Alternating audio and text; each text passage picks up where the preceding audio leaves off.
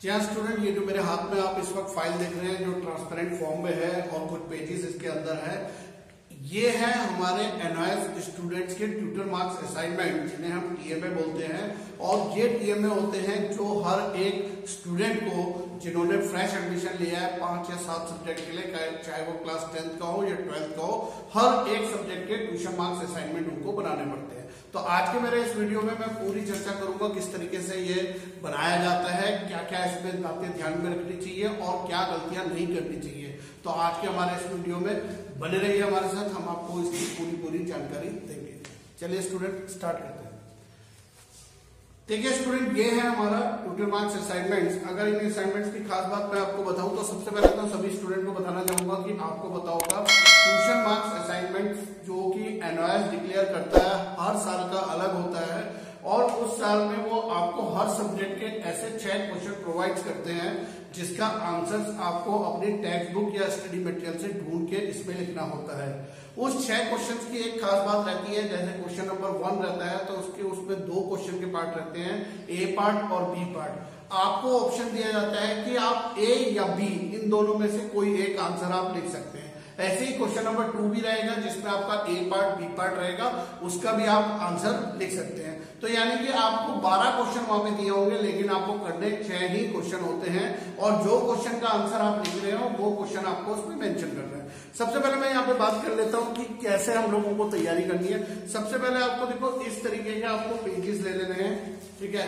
ये pages again मैं बात करूँगा, ये उस टाइप के पेज है। वन साइड रूल होता है, दूसरी साइड ये प्लेन होता है। प्लेन ये पेजेस होते हैं। तो यानी कि आपको ये पेजेस बहुत इजीली अवेलेबल होते हैं स्टेशनरी के शॉप में और एक टीएमए बनाने के लिए मात्र 10 से 15 पेजेस की ही ज़रूरत पड़ती है।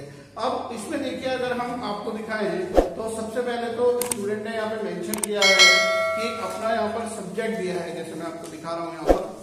ये सब्जेक्ट मेंशन किया है कि ये सब्जेक्ट कौन सा है सब्जेक्ट कोड है, और फिर उसके बाद आंसर लिखना शुरू किया है क्वेश्चन लिखने के बाद। तो ये आपको पहला पेज हो गया, फिर इस तरीके से आपने दूसरे पेज में बनाया, फिर तीसरे पेज में बनाया प्लेन साइड में आपको नहीं लिखना है और इस तरीके से आप अपने छह के छह क्वेश्चन के आंसर नीट और क्लीन तरीके से यहाँ पर लिख दीजिए। मेरा एक सजेशन रहेगा कि बेटर होगा अगर आप क्वेश्चन को ब्लैक पेन से लिखते हैं और आंसर को ब्लू पेन से लिखते हैं तो एक दोनों ही कलर डिफरेंट होने की वजह से सेपरेटली नज़र आ जाता है कि आंसर कौन सा है और क्वेश्चन कौन सा है। टीचर के लिए इजी हो जाता है और इम्प्रेसिव होता है। फिर जब आप ये पेजेस को तैयार कर लेते हैं तो इसका कोई आपको प्रैक्टिकल फ़ाइल नहीं, बल्कि आपको इस तरीके का एक ट्रांसफ़र ट्रांसपेरेंट फोल्डर खरीद लेना है। ट्रांसपेरेंट फोल्डर भी इजीली आपको स्टेशनरी शॉप में मिल जाएगा। इस ट्रांसपेरेंट फोल्डर की खास बात ये होती है, इसके पीछे के प्लास्टिक की स्टिक दिया होता है।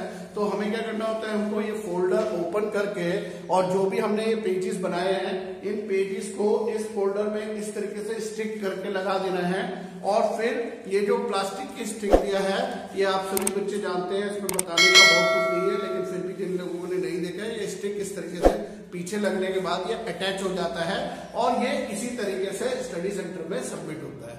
तो ये हमारा होता है ट्यूटर मार्क्स असाइनमेंट और छह पेजों का या छह क्वेश्चंस का ये ज़रूर होता है, लेकिन ट्यूशन मार्क्स असाइनमेंट्स के मार्क्स बहुत ज़्यादा इंपॉर्टेंट रोल प्ले करते हैं हमारी परसेंटेज को इम्प्रूव करने में तो इसको ध्यानपूर्वक बनाइए।